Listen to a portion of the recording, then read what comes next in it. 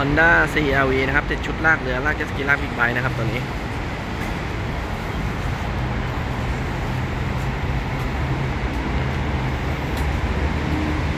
หัวบอลนะครับ เป็นหัวบอล 50มิลนะครับ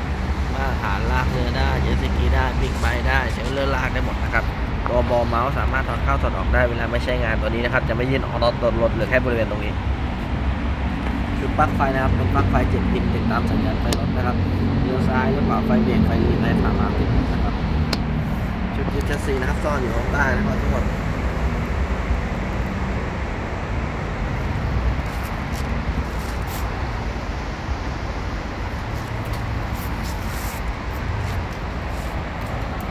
ตัวล่างนะครับโผล่พ้นยางอะไร